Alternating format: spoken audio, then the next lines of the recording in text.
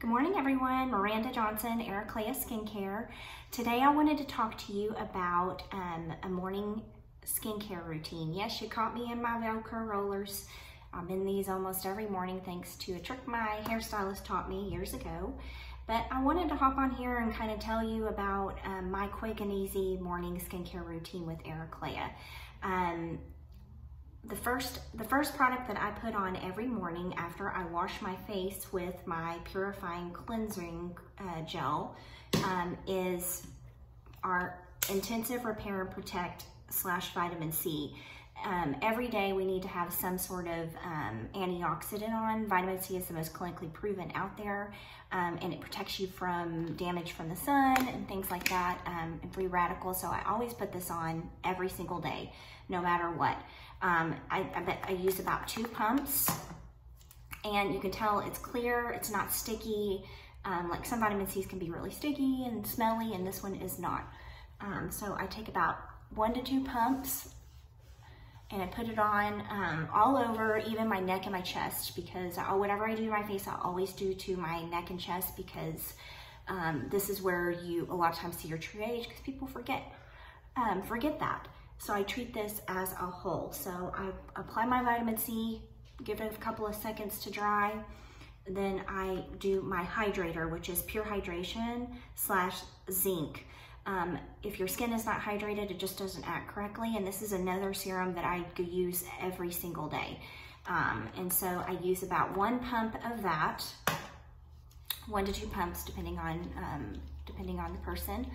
And I apply that everywhere, even under my eyes, and my neck and my chest.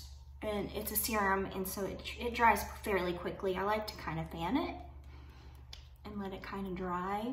And I don't really wait a lot of time in between each products. I just, I'm in a hurry most of the time in the morning, just like everybody else. And so I'll just apply that on really quickly.